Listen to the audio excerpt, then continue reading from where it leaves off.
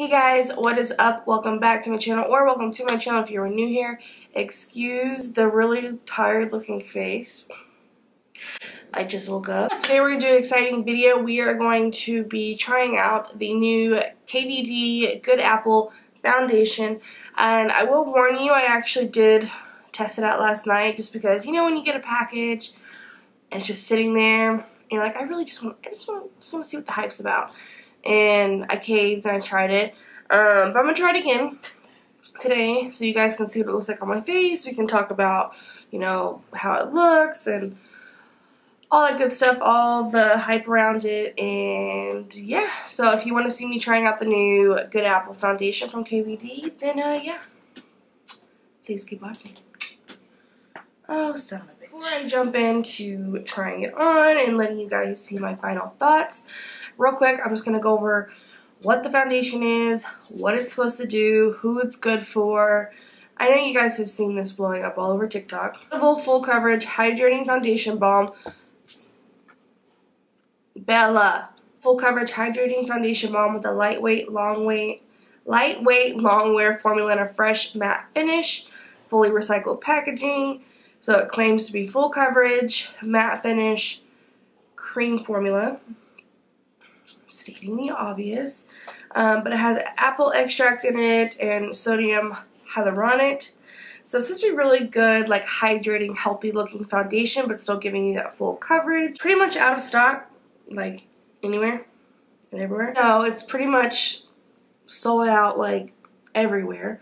It took me a hot minute to find this foundation because of course, you know, when TikTok blows something up, I'm going to say TikTok is like the best marketing of this new day and age because anything that's on TikTok, especially coming from someone who works at Sephora, I see it all the time. People come in looking, they all you gotta do is tell me the brand, and they have their picture ready, and I'm like, is it this? Was it on TikTok? Because we don't have it. it's sold out. Pretty much how TikTok goes. But anyways, yes. So this is the packaging right here. I already, of course, I told you I already took mine out of the box because I tried it. Um, I got mine in shade light 012. Now, when I originally picked it out, it was because one, it was one of the only few shades left, and two, it said it was light with neutral undertones, which I tend to go for neutral undertones, and I was worried if I got in, if I went any lighter, it was just going to feel too light on me. Now, granted, I am on the fair side, but I don't want to feel like I'm washed out, so that's why I chose the color.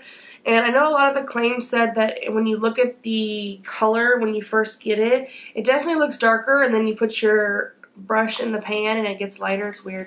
It's like the first layer looks darker, so don't be intimidated if you get your color and you look at it and you're like, hmm, I don't know if that's going to work. But yeah, so basically, we're going to try it out today. And I'm going to do the rest of my face after this off camera just because the it'll be a long video if I sit here. And plus I have to get my hair done here in a minute, so I wanted to get this out for you guys. Let's go in and try it.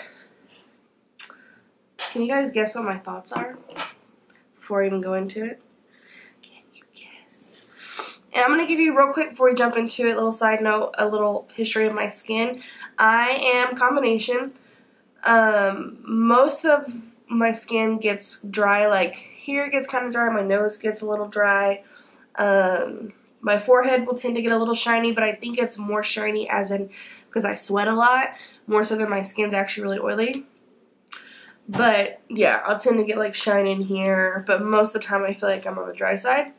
So a lot of times, just a little history, my skin does not take well to cream products, which is why I was hesitant on getting it, but I was like, you know what? TikTok talked about it, let's let's talk about it. So yeah, just a little, a little side note. And then this cutie wants to interrupt my video. Are you the star now? Am I going to put foundation on you?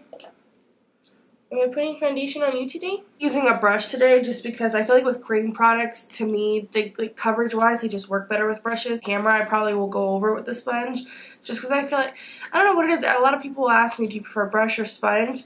If I'm in a hurry, usually I'll say sponge, but if I really want maximum like coverage and just like the whole look, I'll do a brush and then I'll follow up with a sponge. This one I'm going to be using the e.l.f. Buffing Foundation Brush. I just bought this probably a couple weeks ago and I actually really like it. So, yeah. And I saw a lot of people doing, of course, the one, and I didn't do any primer on my face. I just did my skincare. I didn't want to, I didn't want anything to change the formula of the foundation, especially when I'm trying it for you guys to see, because if I end up like being like, ew, I hate this, I don't know if it's because of the primer, like the combination, or it's the actual foundation. So we're doing it on no primer, just my skincare. Yeah, a lot of people, they'll go into this and they'll put a lot of foundation on. You do not need a lot of this. Like, I remember dipping my brush in yesterday and I'm like, oh my gosh, that's, that's like plenty of product. But I know it's a trend. It gets like people going. It gets people to buy it. I understand that you don't necessarily need that much. Um, so I'm going to stop talking and just do it. So when I do it, I would say one, two. That's all I did. And then we're just going to start in the center of the face and work out. And I'm not going to be like, because then everybody's, everybody does that. I'm not going to, I'm not going to be on the trend, okay? Even though I, I gave in and I bought this. Um, so yeah, so on initial application, I do like it. I feel like it definitely gives you coverage. It's do I think as far as coverage is it anything revolutionary? No. There's a lot of full coverage foundations out there. Um, I think a lot of this is, like I said, it's just the hype of the foundation. Um, but you can actually find a lot of really good full coverage foundations. What I like about the claims of this one, I'm just getting a little bit more, about the claims of this one is that it is actually like a, a good like hydrating full coverage foundation. I feel like a lot of foundations that are full coverage. And can we talk about the color match? Like, oh, and also too, you can see like I have quite a bit of redness. But what was I saying? Oh, I feel like a lot of full coverage foundations they tend to um what's the word? I'm getting a little more. Um, they tend to be more matte, like like just too matte for my skin and they'll end up drying my skin out. So when I see like a hydrating full coverage foundation, I'm like super excited about it. Now the one thing I did notice, which is very common for my skin, is that I don't like how it sits on my nose, which like I said happens a lot of times. It actually looks a little bit better today than it did last night. But I'll zoom you in. My, my nose has a lot of dry skin on it. Oh, we're close. Okay, focus. Do you see how it kind of just sits patchy on my nose? And like I said, that's that's a oh, that's a very common thing with my foundations. So yeah, but this is with one application. I'll kind of hold it down a little bit. So this is one application. I feel like a lot of people have I've heard I've heard so many mixed reviews. A lot of people says it dries down like too matte, especially if like you're dry. I don't think that for my skin at least. Everyone's skin is very different. I feel like it gives the nice natural radiance to the skin. Yeah, I feel like that I mean finish wise I feel like it looks really good. Not mad at it. But let me just tell you from I'm gonna do the other half while I talk about this. From one like a makeup artist perspective, everyone's skin is very different, and I know you hear that a lot, but when you go into a foundation with like really high expectations, like this one for example, just keep in mind, even if you say like, if you're like, oh, well, my skin's combination like this person's skin's combination, or my skin's oily like theirs oily and they liked it and I hated it, or vice versa, or why did I love it and they hated it. Even if your skin type is similar or the same. Everyone's skin is different. Everyone's skincare routine is different. Skincare routine does make up a huge part of how a lot of your makeup is going to wear. So just keep that in mind. But as far as like wondering why some foundations look really good on other people and not you or vice versa, just keep in mind everyone's skin is so different. I tell my clients that a lot of the time too because they see, like they see for example, they'll ask me, oh, well, what foundation are you wearing? It looks really good. And I'll tell them and they're like, oh, that didn't work on me. It didn't look good like it looks on you. That's to happen just because our skin is all different. So, keep that in mind when you try it and go into it with an open mind. But I'm really, okay, so I really actually really like this foundation. And I'm, I'm to say I'm shocked because like I mentioned before, any type of cream foundation has never worked on my skin. Even the hydrating, even even the hydrating ones, they always want to separate on my skin. They always want to look cakey on my skin. They always just never flatter my skin. They always want to sit in every little like imperfection.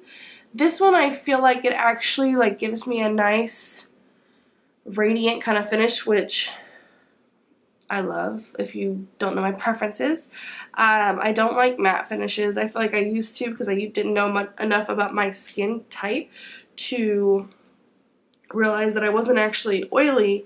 I was just dehydrated, which is which caused a lot of issues. So, um, but no, I actually really like it. I feel like weird enough, like it, it evened on my redness, but I don't feel like it looks cakey. I feel like I did get some color on my chest, so it might not match perfectly with my chest, but this is more my color. Yeah, no, I really like I'm going to zoom in a little bit so you can see a little bit closer. There's no filter. I don't even know how to do filters on videos. Apparently there's this beauty filter that everyone talks about, and I haven't figured it out. But I have no filter on my face. Let me see if it'll...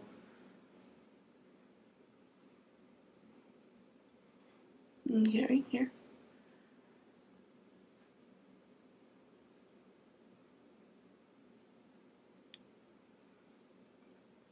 Okay, so yeah, that's my face. A lot of the claims is it feels weightless.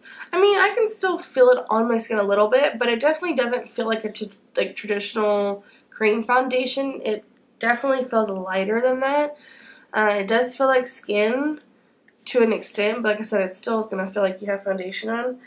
But I love how it gives you that radiant finish without making it feel like greasy or like just like disgusting. Because sometimes, like, yeah, I want to look dewy, but I also don't want to like feel super like greasy or heavy or anything like that. So this is my ideal type of finish is what you're looking at right here. A nice, natural, radiant finish. That is this. I'm going to go put on the rest of my makeup and then we'll talk about it real quick. We'll wrap it up. I think you guys can tell by now what my thoughts are. But yeah, I'll be right back. Alright guys, I'm back. I did a really half-ass rest of my makeup because I am fixing to be late for my hair appointment and that's no bueno. So real quick, I'm going to give you my thoughts. Sorry this, this feels rushed, but overall I actually really love the foundation. Haven't worn it as a wear test, so I don't know how it's going to last. But as far as like first application, how it applies, how it wears, like sits on the skin with my other products, um, normally with cream foundations as well, if I apply like a powder on top of it or something like that, it tends to want to like break up. This one did not. This one actually blurred and smooth when I put powders on top of it, like as it should. So yeah, I am actually really loving this. Um, packaging, it's all recyclable, so I could care less if it's plastic, if it's saving the environment, who cares? Um, unless you're just like a really big packaging person. I mean, I am too, but as long as the product inside of it is amazing, I don't really care. Love it. Now, don't feel pressure to go buy it because, like I said, it's not going to work for everybody. I promise you that. Just, but take my my review and my opinion as it with a grain of salt because, like I said, it could work very different for your skin. But as of right now, I do love it. If you want to try it, how I did it was I just hit email me when back in stock on the Sephora app does wonders because literally you'll get an email as soon as it's back and you can just click that email, takes you right to it and you can buy it versus like before I kept wanting to buy it but I never knew when it came back in stock because every time I checked it was out of stock. So I was like, um, and then when I would finally figure out it was back in stock, it had been online for like all day and then it sold out. So yeah, don't do that. That is the end of this video. If you liked it, please make sure you give it a thumbs up. It lets people know um, about my video. It lets me know if you like this kind of content, if you like reviews. Um, make sure you leave a comment down below. Let me know if you've tried it or if you're going to try it and what your thoughts were, if it worked for your skin. And yeah, oh, subscribe. Obviously. Hit that subscribe button. It lets me know that people support me. And I appreciate that. And I do appreciate that from you. So yeah, I hope you guys have a great day or night wherever you are. And I will see you in the next video. Bye. Peace.